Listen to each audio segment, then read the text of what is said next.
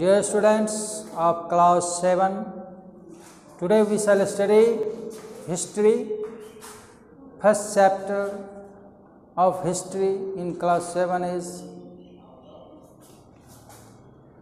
when, where and how. In this chapter we shall study about medieval Indian history you have studied earlier in class 6 about ancient Indian history. You studied from earliest times from Indus Valley civilization to 7th century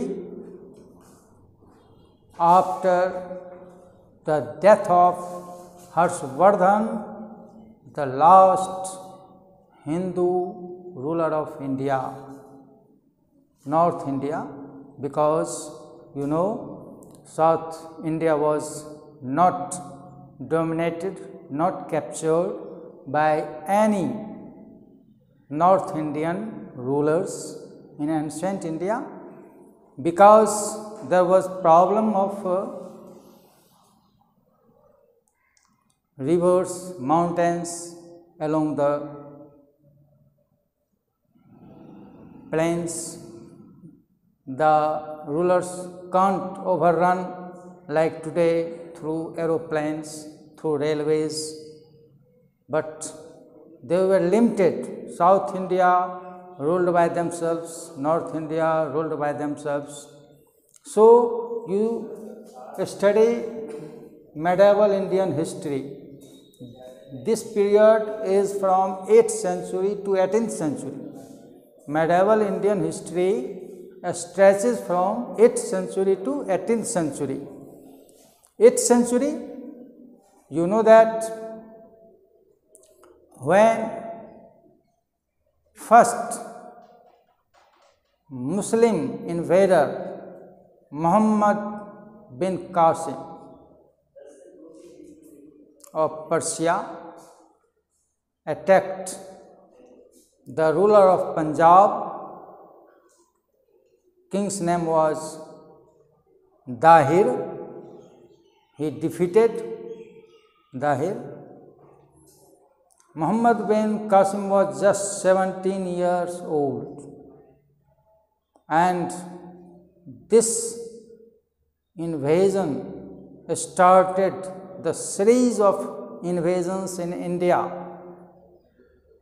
you will study about Muhammad Mahmud Ghaznavi who attacked India 17 times.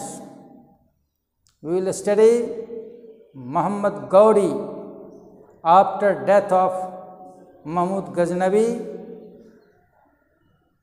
He attacked India. He established his commander in chief Kutubuddin Aibak in Delhi and he went to his country Gaur in Afghanistan. Then after you will see that Mughal first ruler of Mughal was Babur, he also attacked India. So, you see that in this period medieval Indian in history, you will see that there is series of invasions foreign invasions because India was disunited, there was lack of unity. No single ruler in India who can control the whole India like today. North India was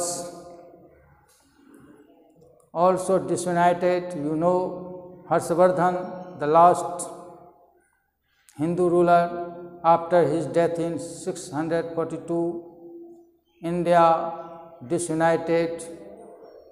There were many kingdoms who freed from the central rule and they started quarreling, they started struggling among themselves.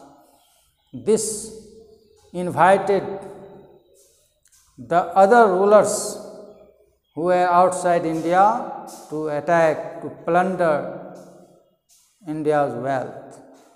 Mahmud Ghaznavi, who attacked India 17 times, he plundered the temple of Somnath, Mathura, etc. So, again you see that in medieval period, you see that Islam religion came to India for the first time. And you also know that today's Indian culture is mixed culture. Mixed culture means Hindu and Muslim culture is now mixed together and a new culture has been present today. It is called mixed culture or Hindu Muslim culture. This was started in medieval Indian history. So, you have also, also to see that a British historian James Mill who divided Indian history into three parts. He divided Indian history on the line of religion. He called ancient Indian history as Hindu period. He called medieval Indian history as Muslim period. He called modern Indian history as Christian period. He divided Indian history on the basis of religion. It was not true as you know that religion was not dominant factor in ancient India, you know Gupta period, Vardhan period, all rulers were very good for the other religions, other castes, they were benevolent, they looked after all the subjects irrespective of caste, religion.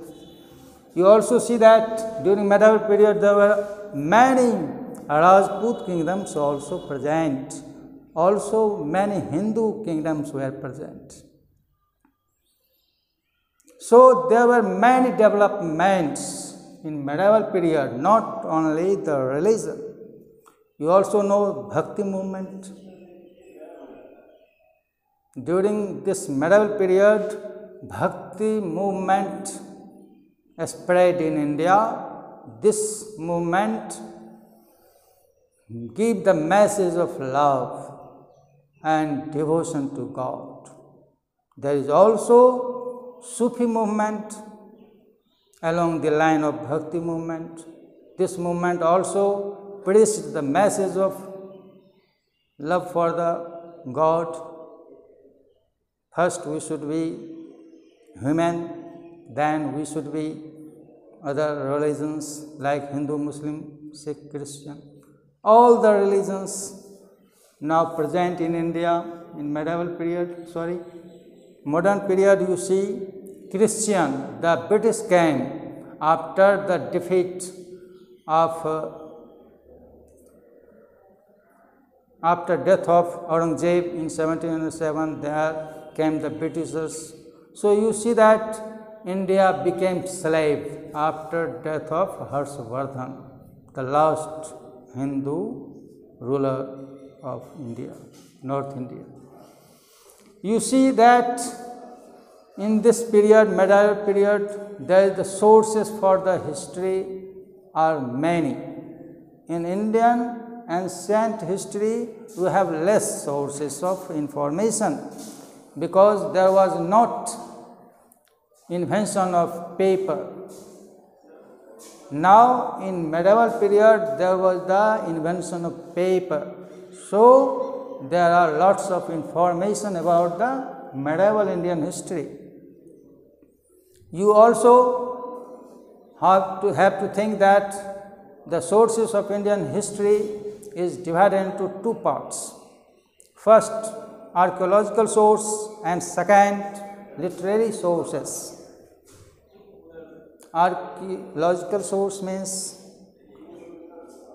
the buildings the monuments the inscriptions the coins the paintings all these are included in archaeological sources they gave us important information about the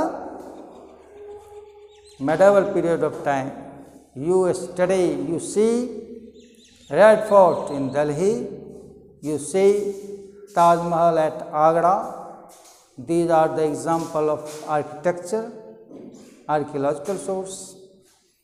You also have many coins of these periods. You see that coins also give us information about the economic position condition of India during this period. You also see the literary source, second source is literary sources means uh, you have many historical writings present in medieval period. Historical writings are divided into two parts. First, indigenous writings means the writings written in native language like Urdu, Sanskrit, Assamese, Punjabi and etc. These literature written by such as Babar who wrote his autobiography Tuzuke Babri. In this book he described about the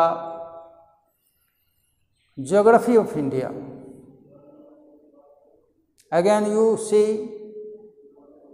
Humayun Nama written by Gulbadan Begum, sister of Humayun. He described in this book about the life and achievements of Humayun. You also have book of the uh, uh um, Akbar's period. Abul Fazl wrote Akbar Nama and Aine Akbari. In this book, he described about the reign of Akbar you also have book in the form of Jahangir Nama. It is the autobiography of Jahangir. He himself wrote it. In this book, he discussed about the reign of his kingdom. Again, you have Tughlaq Nama, written by Amir Khusro.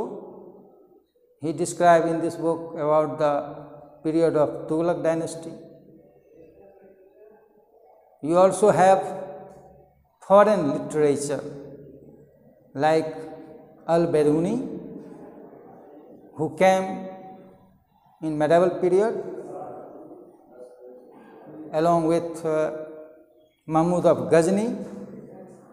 Al-Biruni was very famous historian. He described about India in this period. He gave very important information about India. Again, you have even Batuta of Morocco in Africa also gives important information about Vijayanagar Empire. Again, you know that Sir Williams Rowe, others British historians also gave important information about India, especially South India. So, we have lots of information about medieval Indian history. Thank you. Next day we shall study next chapter.